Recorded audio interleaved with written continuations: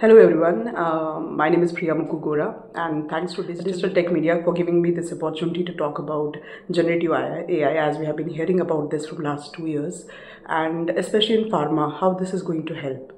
Uh, before that, uh, a brief intro about myself. Um, I have around 20 years of experience uh, and I started my career um, in, in development, then I moved to testing, then compliance, uh, security, privacy, and now I am leading governance, risk and compliance um, and also global DPO for Axtria. And at the same time, I'm uh, an integral part of developing responsible AI framework uh, for our organization.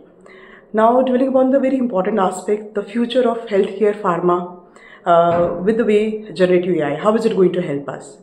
Uh, and my take here is that uh, companies really should embrace Gen AI uh, and uh, if they really want to advance medical science, they want to help patients by making healthcare more proactive and individualized, it is important to then kind of jump into this league. At the same time, uh, in the era of constant changing and evolving technology landscape, uh, using this powerful technology, it does demand making strategic judgments, that's for sure, Ex exercising very effective governance, at the same time exercising operational agility, and being very careful about the intent of the use case, because end of the day, it should benefit the user, at the same time maintaining the confidentiality.